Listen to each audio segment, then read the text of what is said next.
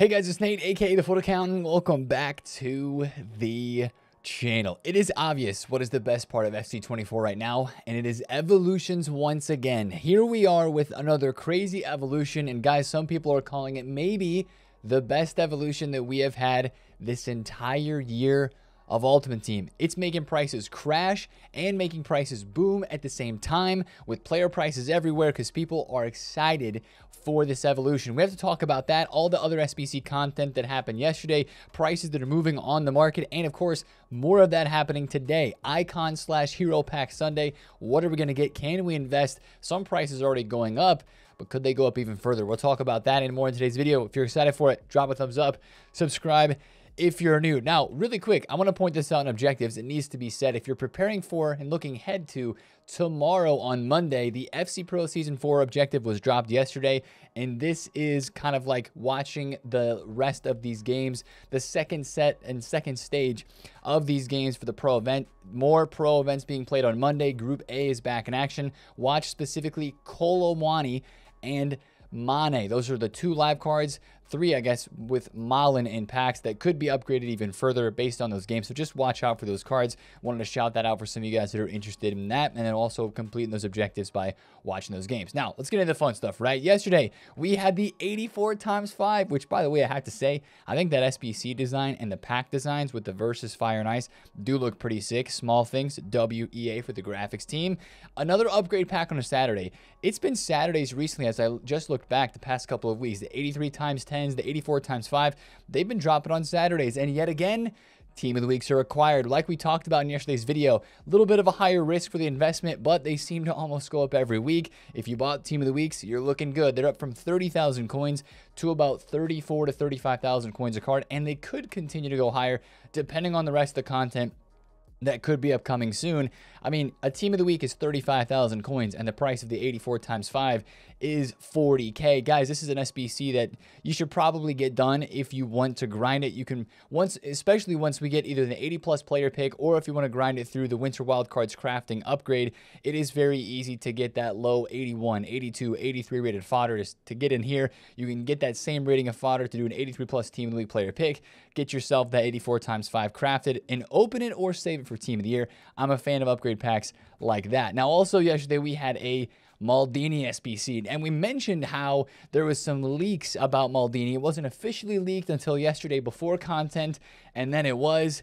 This is an SBC, guys, that is crazy. This early in the game, yeah, we had the Blanc SBC, right? That was nice. But this early in the game, I know we're in 2024 now, but we're like not even halfway through technically the calendar year cycle of this game. And we have a center back that is incredible in terms of how good he is in game that is now available to everybody via SBC, right? 1.2 million coins on the market is what he was before the SBC dropped. That's also the price of his SBC in this game. It's just so much more easy for people to craft it, especially with all the packs that they give out. If you want to spend the time to grind and get it done, you can.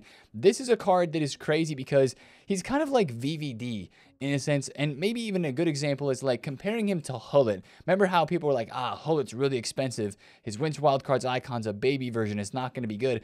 Gullit is just kind of like always good because it's Gullit, right? I would agree with Maldini being in that same category.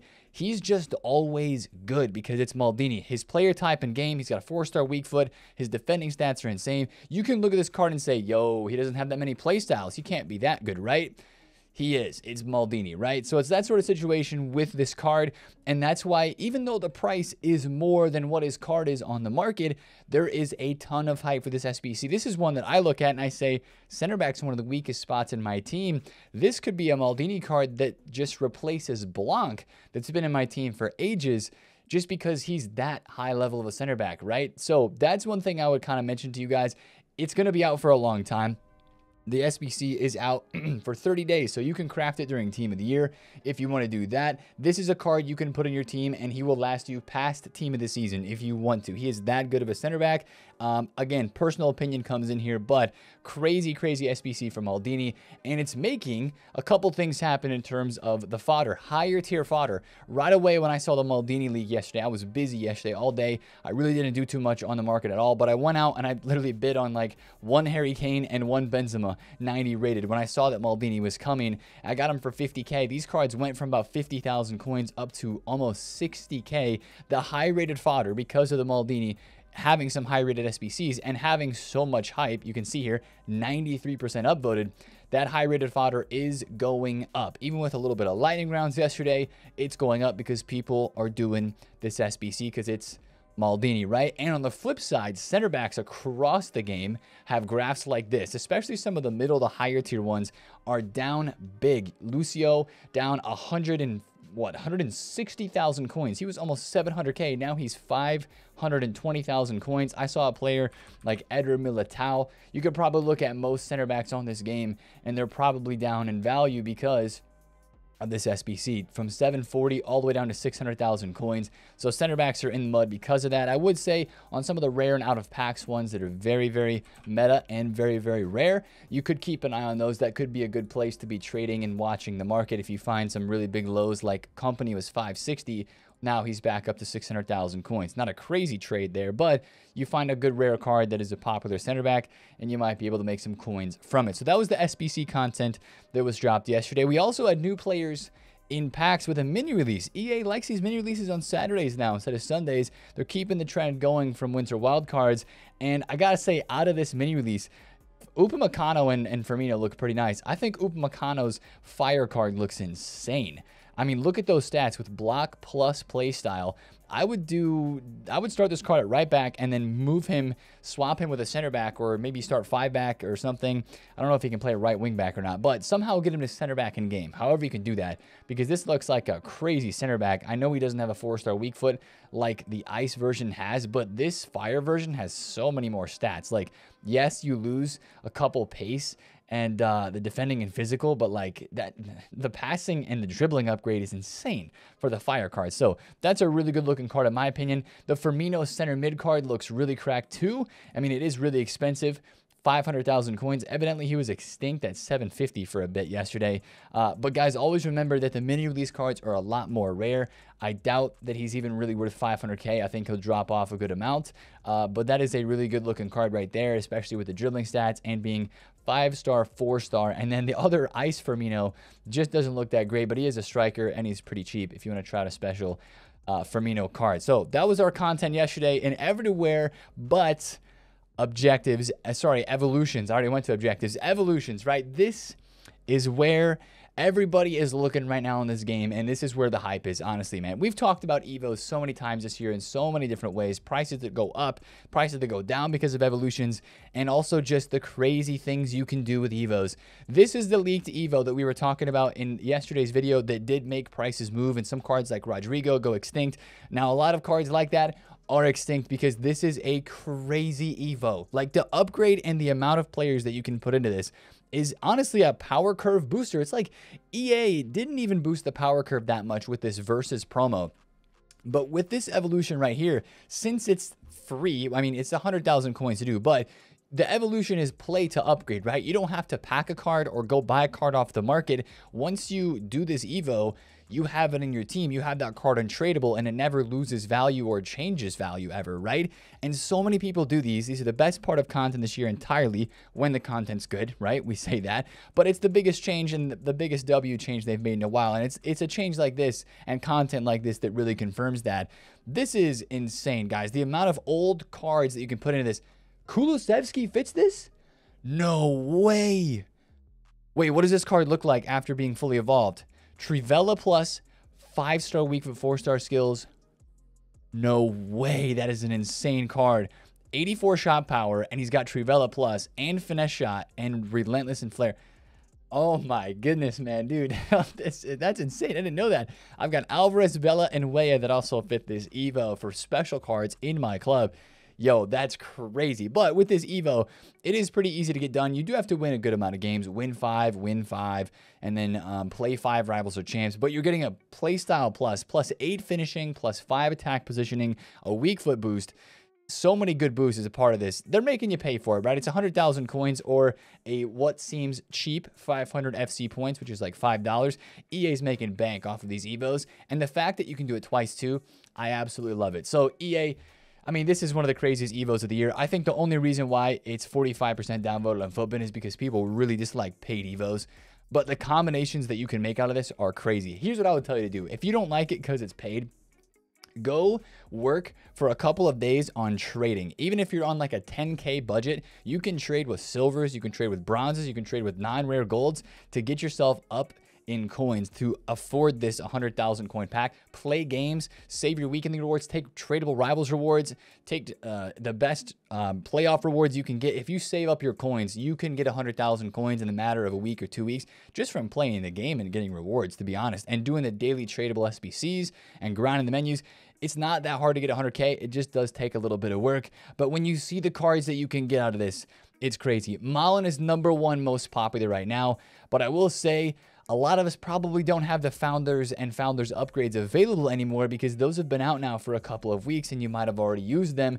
Just make sure once again, as we've looked at recently, when you're taking a look at some of these EVOs, make sure you're not missing that some of them have multiple steps to get them to be this insane of a card. This is card is five star, five star with all the playstyles that he, like, this is a disgusting card for the stats that he has in January 93 dribbling, 95 pace. This is borderline a team of the season esque card. Like, this is a card that would be in packs and in a game in March, but you can get him through using Evos in this game. Of course, his gold card is 10,000 coins extinct on the market. Uh, the Alvarez, which I can't make that Alvarez in my club look this good because I didn't do the Centurion Striker one. Double regret now for not doing that. That's a crazy looking card, too. Talisca, the, the informs and the special cards that are now up on the market because of this, too look amazing. Olise even. That's, I didn't notice that he could fit in this Evo. In 93 dribbling for him, 91 passing. I mean, four star, three star is not that great, but there are so many incredible options. And of course, it has got prices moving everywhere. You've got Rodrigo, you've got Malen extinct. I believe Khvicha, I thought he was extinct. Maybe not. He's 7,000 coins.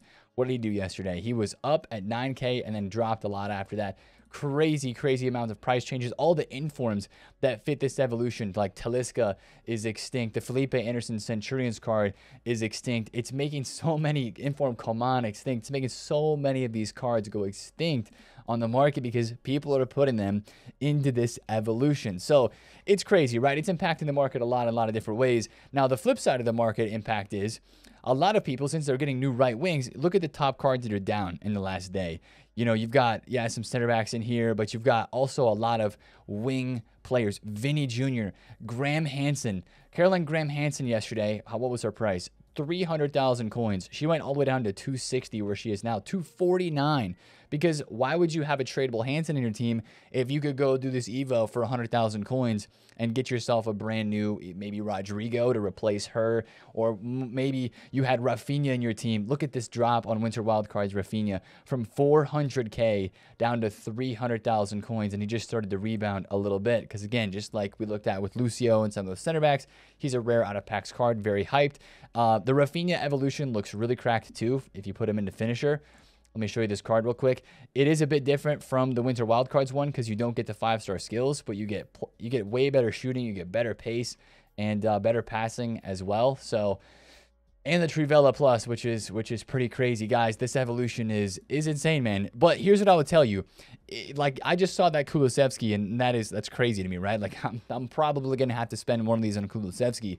I would not commit just yet to both of these, even if you have two ideas for a player that you want to put in it, because there are some other leaks, which we'll talk about in a second, that say some players will be able to put what they do in finisher into yet a, another evolution. So, like it, we always say with a lot of this Evo stuff, it usually is better to wait because then you will probably save yourself the pain of doing the evolution and maybe being happy with your car, but then seeing something else that happened, you're like, oh my goodness, like this this card would have been way better. So why did I do this Evo too early? So maybe hold off a day or two or three, or maybe even a week if you can if you can stand it. Um, I know that that time is is money and time is valuable, especially if you're putting a meta card in your team.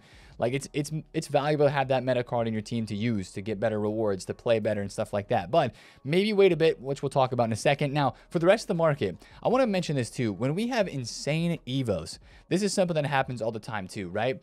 When we have incredible evos that are paid, it hurts parts of the market that aren't even in that position. Like, yeah, right wings are down a lot because of that evolution.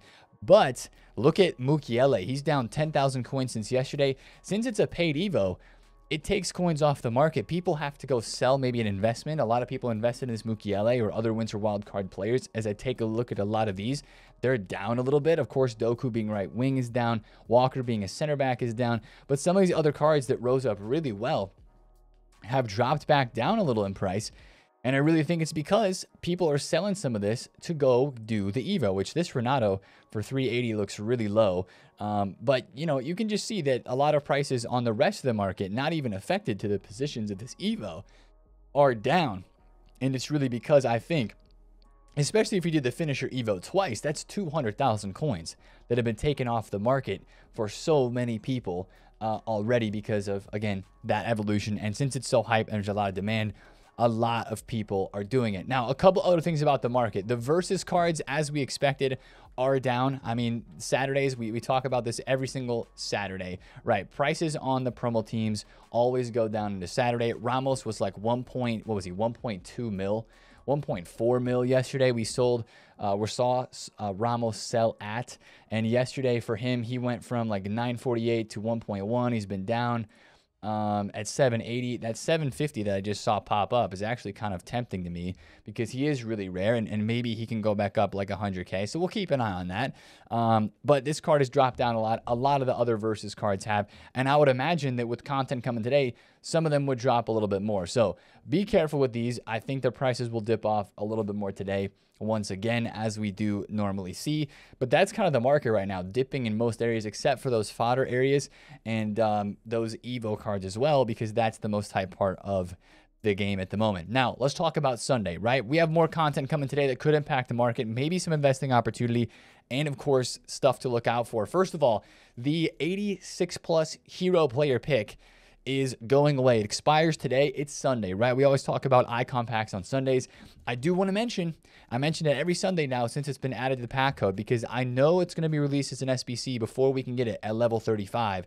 The 87 plus base Centurions or Thunderstruck icon pack That'll be the first icon pack with Thunderstrucks inside of it. I do believe it's very possible for that to come today or yet again another icon player pick. We'll have to see. Watch out for leaks today before content, but I think one of those will be coming. Again, they've been on a roll recently with hero pack or player pick, then icon pack or player pick. So we'll have to see. And as you think about fodder, we look at informs, right?